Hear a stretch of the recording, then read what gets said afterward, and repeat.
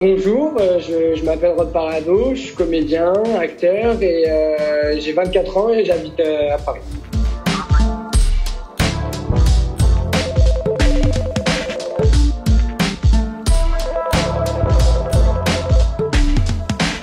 J'ai fait le casting sauvage pour la tête haute, j'ai été pris, ça a été un gros casting de trois mois.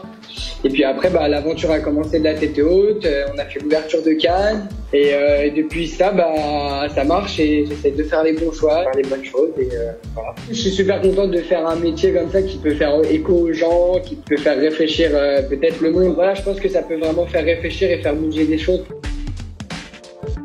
En fait, ce qui est dingue avec ces récompenses, c'est que je suis super content et en même temps, euh, c'est hyper frustrant parce que ça fait très très peur de dire qu'on a un Molière et un César. Et je pense même que des fois, il y a des réals, euh, des, des metteurs en scène qui m'appellent pas parce que j'ai un Molière et un César ou il y a une certaine pression, alors que moi aussi, ça me rajoute une pression. Par exemple, petite anecdote, avant d'avoir euh, passé l'audition euh, pour faire euh, le Fils, la pièce de théâtre que j'ai fait et pour lequel j'ai eu le Molière, je devais euh, commencer à faire des cours de théâtre et en fait j'y suis jamais allé parce qu'en fait j'avais le César et j'avais tellement peur qu'on me dise ouais le gars il a un César mais il sait pas faire du théâtre. Donc en fait c'est hyper cool d'avoir ces prix, c'est un très très beau cadeau et en même temps c'est un petit peu empoisonné quand même quoi. Et Balle perdue qui sort euh, sur Netflix le 19 juin. Je pense que ça va vraiment vous plaire et c'est rempli de divertissement, rempli de- d'intelligence, de, de force, d'amour, de loyauté. Moi, je joue Quentin. C'est un personnage qui est, qui est un peu casse-cou, euh, qui est le petit frère de cœur de Lino. Le pitch, c'est que il est seul contre tous et qu'il doit, il doit prouver son innocence, mais à des moments, peut-être qu'il sera peut-être pas tout seul. Tu vois, il y a peut-être Quentin qui va venir. Mais moi, je, je suis super content parce que c'est un film d'action et en même temps, c'est pas que de l'action, quoi.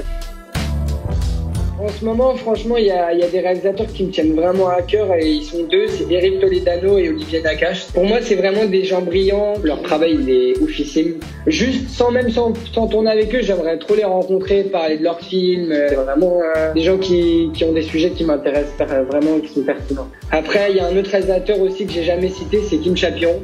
J'ai vu Dog Pond, euh, je sais pas, j'ai dû le voir quatre fois et puis j'ai toujours adoré les projets de mais Français, ouais, j'ai vu Validé, j'ai vu Platane, j'ai vu 10% que j'ai beaucoup beaucoup aimé, que j'aimerais bien jouer dedans, euh, 10%. Après, euh, il y a d'autres séries aussi qui sont américaines que j'adore. Il y a 14 Reasons Why, euh, il y a Black Mirror.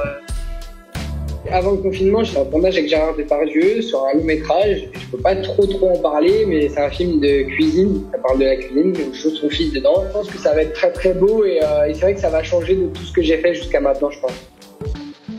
Faut pas oublier de vous installer devant votre écran, il y a Balle perdue qui sort et euh, c'est divertissant, euh, tous les personnages sont remplis de loyauté. je pense que ça peut vraiment vous plaire et je compte sur vous pour être. Ça s'appelle Balle perdue.